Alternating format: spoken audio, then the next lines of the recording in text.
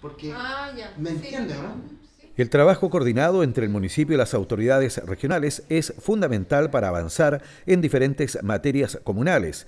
Por esta razón, el alcalde Ricardo Jaramillo Galindo, junto a un equipo municipal, se reunieron con la directora de Obras Hidráulicas Araucanía, Vivian Fernández, para solicitar el apoyo de la DOH en proyectos de agua potable rural de Lautaro. El alcalde, Ricardo Jaramillo, tenía mucha inquietud acerca del estado de algunos proyectos que tienen que ver con la dirección de obras hidráulicas, eh, en especial algunos sistemas de agua potable rural que hoy día están en proceso de diseño. Así que estuvimos conversando acerca de estos procesos y cómo poder agilizar el buen término de estos proyectos y poder llevar estos sueños de APR a realidad, a obras eh, directas que en este caso podrán eh, dotar de agua para consumo humano a mucha población de la comuna de Lautaro.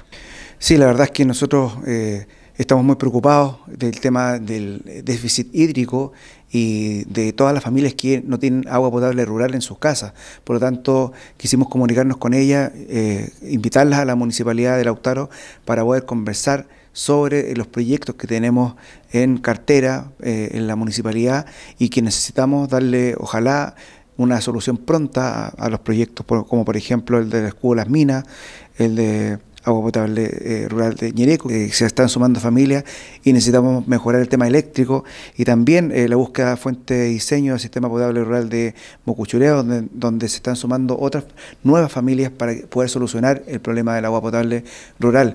Eh, también se está haciendo el estudio del sector de Marileo. No es posible que estemos todavía entregando agua con camiones de aljibe en las casas y por eso que para mí es primordial, es una de mis prioridades poder resolver y apoyar con toda la fuerza eh, todos estos proyectos en conjunto a, en este caso, la DOH. Bueno, nosotros el próximo año nos comprometimos con el alcalde y con la comuna, ¿no es cierto?, a poder sacar adelante al menos tres proyectos que son importantes, eh, especialmente en lo que es la tramitación de la recomendación favorable en el Ministerio de Desarrollo Social. Eso nos va a permitir poder eh, ejecutar estas obras.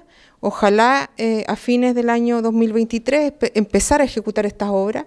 Son obras eh, que son grandes obras y por lo tanto son eh, inversiones, ¿no es cierto?, que nosotros vamos a re- realizar desde la Dirección de Obras Hidráulicas del Ministerio de Obras Públicas y que permitirán, en este caso, de que mucha gente que vive en el sector rural pueda acceder a tener agua potable en sus casas. Y eso es lo más importante para nosotros. Los proyectos de APR Ñereco, Muco Chureo y El Escudo, las minas, fueron los principales temas tratados, donde también participaron el SECPLAN Andrés Echarren, el director de operaciones José Elías Vázquez y la encargada de APR del municipio Nora Aravena, con el objetivo de poder lograr en conjunto llegar a más hogares del sector rural con agua potable.